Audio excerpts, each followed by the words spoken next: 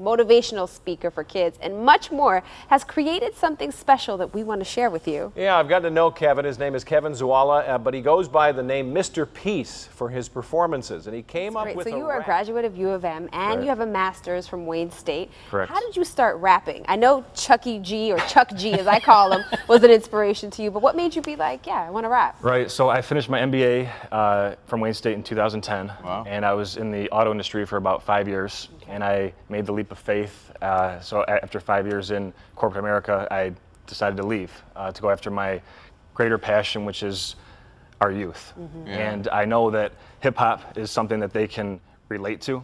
So doing all this poetry and Weird Al Yankovic being a big inspiration when I was growing up about writing my own parodies, I ended up uh, kind of putting the poetry to a beat. Uh-huh. And, that, and that's how the rap started. All right, so what's your message to kids?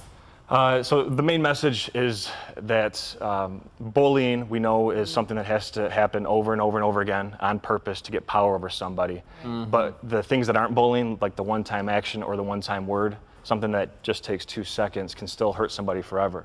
So my main message is that hurt people hurt people, and that's a choice. But it's also a choice that healed people heal people. Yeah. So what are the cups about? Because this is part of your so visual what I always demonstration. tell people, you know, like our heart, which is as big as our fist, right? Um, I tell people to pretend that our heart is like this empty cup, and when we're born, we're free of pain. But little by little, this cup, which is our heart, it starts to get full, right? And we have painful memories, and people tell us that we're not good enough or that we're worthless, whatever it is, right? So it kind of becomes cloudy and dark. But eventually, if we choose this, because there's always room for love if we let it, then the hurt people, hurt people becomes healed people who heal people. Oh, that's Wow, very I love cool. Yeah. Yeah. And the bracelets, you shared this with me before when we first met. Yeah. Are these all from kids? Yeah, so I have thousands of these. I've only took uh, one of the bags with me today, and I Yeah. always put about 10 on before my assembly programs. It's, it's it kind of becomes my armor, right? Because every bracelet that was given to me was given to me by a student that said, "Mr. Peace, if you weren't here today, I wouldn't be here tomorrow." Wow. Come and on. that's kind of how serious the bullying epidemic is getting.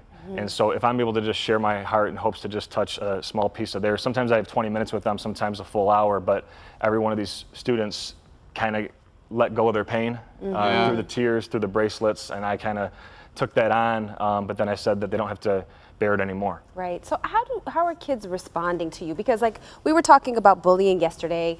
I was bullied as a kid, but today Right. it's ten times, a hundred times worse than it was Right. before. So how do kids respond? Well, the biggest thing that I show them, right, is uh, is is my heart. That I have to be real with them because they're not going to respond if I'm not. Right. And I tell people, like I said, like the heart is as big as your fist, but the idea is that if you let love penetrate this, then this can turn into this. And I try to remind them too. You guys all have an M etched on your palms, right? Like the letter M, which stands for Michigan. No, I'm just joking. It- the, this letter M stands for someone that is truly um,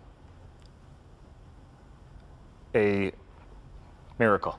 Yeah. And I kind of get a little choked up just talking about it, but uh, upside down, it's worthy. And so if, if I can remind them, all these people Yeah. out there, that they are miracles, right? And that they focus on that instead of all the negative comments and all the lies that come at them, right? Yeah. Then they're able to show the people love, which are the, are, are the bullies, people that are screaming inside, that are hurting it in their hearts, and that we try to show them that, like the opposite of what they expect, you know? Well, you're a blessing to so Awesome. Man, I many. appreciate Thank you. Absolutely. Thank you. Thank you And, uh,